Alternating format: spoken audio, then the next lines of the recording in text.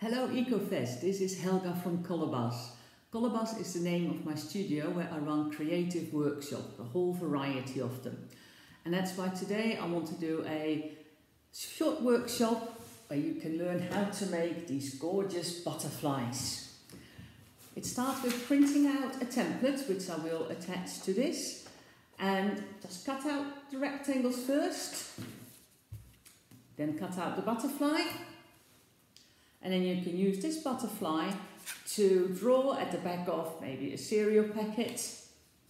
So you just trace around it and you'll have a traced butterfly. But it looks a little bit empty. So what you can do is fill it up. I've used the pattern from the template to fill it up. But of course you can do whatever you like. You're the artist.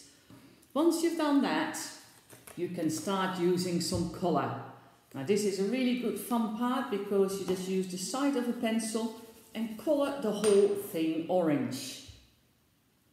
And you don't have to worry about colouring between the lines.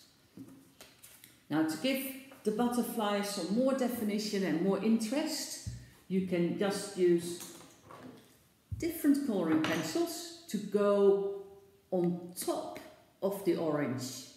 And that means it will all look great together and you can create different shades by pressing harder and softer on top of the parts that are already orange.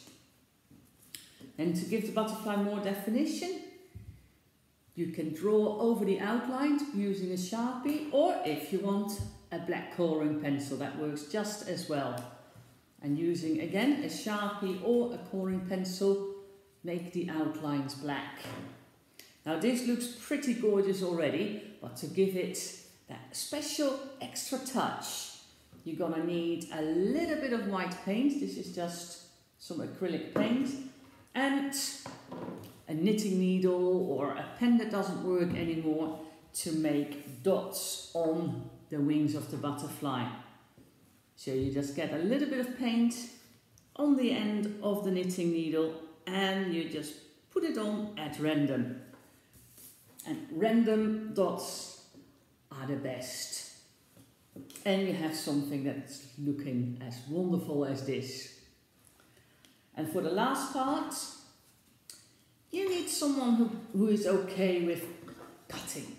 And as this is a family project, you just can ask for help if you need, if you need that to get the shape right.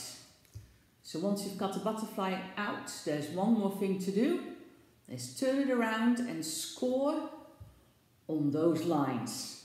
You can use the knitting needle and a ruler, which I haven't got, so I just use a piece of card and score at either side of the butterfly's body. And then you can very easily bend the wings, take a little bit of white tack or blue tack and now it can join its friends over here. And that's all it is. I will make a set of instructions and we'll uh, send you the link for that. Now Colourbuzz's motto is, motto is experience the joy of creating.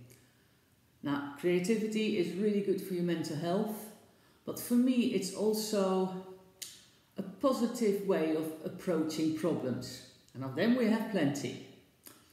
But we've all been very creative in de dealing with the, the difficulties thrown our way. And I hope that this creativity will become a part of our way of thinking and that this will lead to a, a fairer and cleaner world.